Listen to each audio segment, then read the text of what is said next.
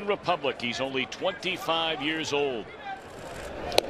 Got him swinging 74 mile per hour breaking ball from Bronson Arroyo and welcome back